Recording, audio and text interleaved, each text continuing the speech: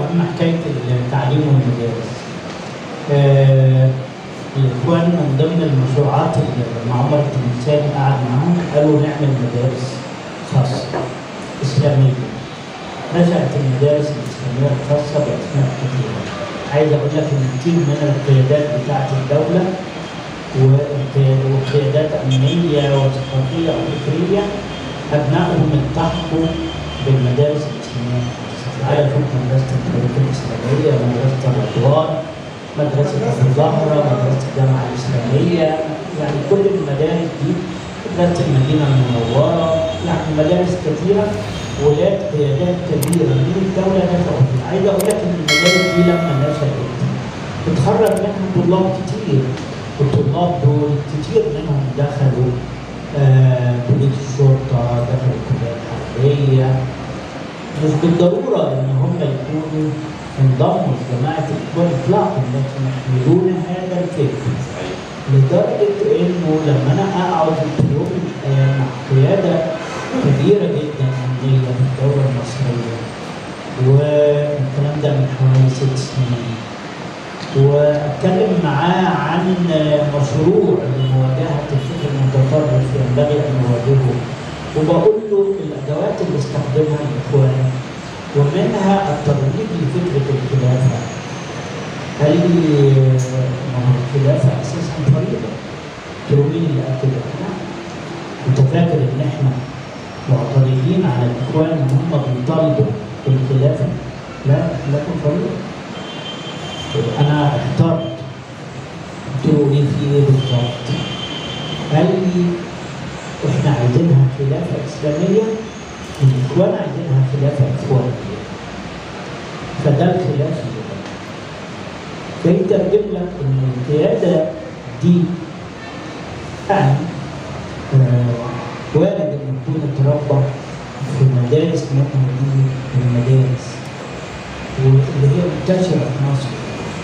واللي ما زالت موجودة إلى الآن وتنتج ناس أما الشاب اللي قال لك مسألة سيطرة الاداريين لا هي سيطره التنظيم الخاص أفراد التنظيم الخاص المسلح الذي يرى أن الخلاء أن الحكم أولا هو بص في حاجتين الشيعة قالوا إن الإمامة ركن من أركان الإسلام والإخوان قالوا الحكم ركن من أركان الإسلام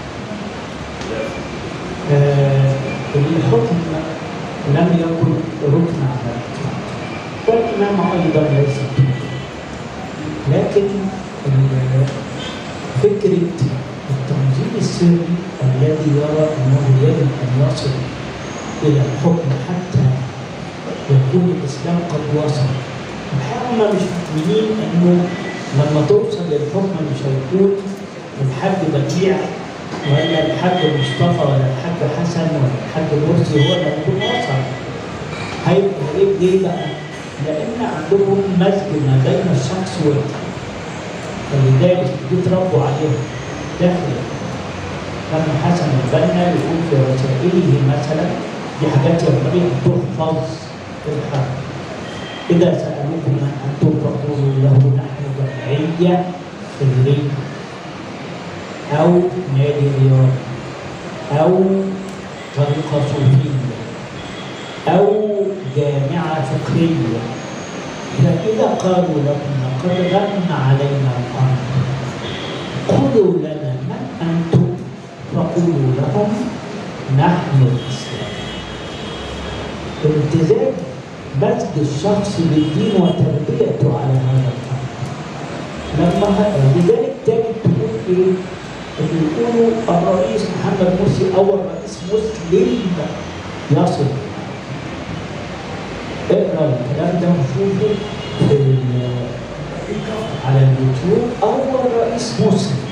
يصل هتستغرب هم اللي قبليه كانوا من كفار قريش مثلا إيه بالظبط؟ هتجد إنه في رسالة من رسائل المؤتمر الخامس مثلا حسن البنا برضه بيخاطب الشباب عشان يفتخروا إن هم في تلك الجماعة. فيقول أنتم ولا شك. صحابة رسول الله. أنتم الصحابة. عشان كده لما خيرت الشاطر طلع بعد 25 يناير من السجن قالوا إيه؟ قالوا يوسف العصر الحديث خرج من السجن ليكون عزيز مصر حاجات كتير بالمعنى بعد ما بقى نبي. وبعدين آه شوف بقى الخطابات بتاعت آه رابعة وقت الاعتصام. إنه سيدنا جبريل نازل معاهم وموجود حتى يدافع عنهم. الله يعني ما حماهمش. ليه بقى؟ طالما أنتم بتقولوا إنه في مدائح حصلت في رابعة سيدنا جبريل إيه يعني عمل إيه؟ سابكم مشي. أو يقولوا إنه واحد شاف رؤيا حق إن النبي كان مع محمد مرسي ومجموعة من المسلمين وأذن للصلاة فقالوا للنبي تقدم للإمامة فقال لا مرسي يتقدم للإمامة. هذا الكلام اللي روجوه وكان مؤمنين أو يحلف الدكتور جمال عبد الهادي هذا الكلام الحقيقة اللي روجوا ليه يبين الانحراف الفكري والانحراف النفسي لذلك هذا التطرف هو ظاهرة نفسية في أحد يعني أشكالها. هو ظاهرة نفسية. لأنه أنت الشوفينيه بقت والاستعلاء. لذلك ما كانش غريب إن صبحي صالح في برنامج من البرامج بس عندنا الدور خلي الاخوانيه خلي الاخوانيه دي هموت على دين خلي الاخوانيه يتجوز اخوانيه خلي الاخوانيه دي آه. ده صبح ده صبح آه. اخواني يتزوج اخواني بس برضه راح قال نعم يقولون نحن نستعلي على الناس. نعم. لأننا نستعلي بالحق على الناس استعلاء وده كاتبه سيد قطب في مقدمة في ظلال القرآن. أي هذا هو استعلاء الحق على الباطل. كأنك جزمت بيقين أنك أهل حق. ومن يخالفك في الرأي هو أهل باطل.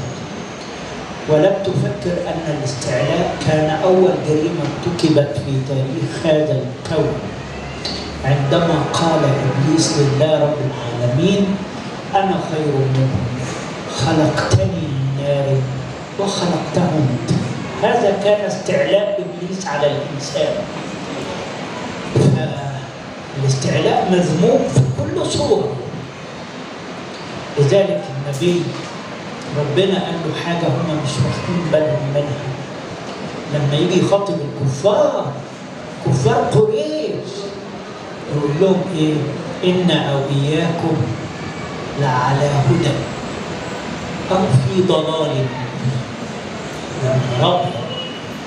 إحنا أو أنتم لعلى هدى أو في ضلال مبين. قل. قل لهم يعني لا تسألون عما أجرمنا. ولا تسألون عما لا نسأل عما أجر لا تسألون عفوا. آه، لا نسأل عما أو أنا أنا ناسي لكن المعنى. المعنى المعنى. آه المعنى أحسن. إن أولياءكم لعلى هدى أو في ضلال مبين. قل لا تسألون عما أجرمنا ولا نسأل عما تعملون. مش تجرمون. يعني إذا أنتوا اعتقدتوا إن إحنا اللي بنعمله ده إجرام خلاص. أنتوا مش هتسألوا عنه. وإحنا ما وصفش فعلهم بالإجرام. لا نسأل عما تعملون.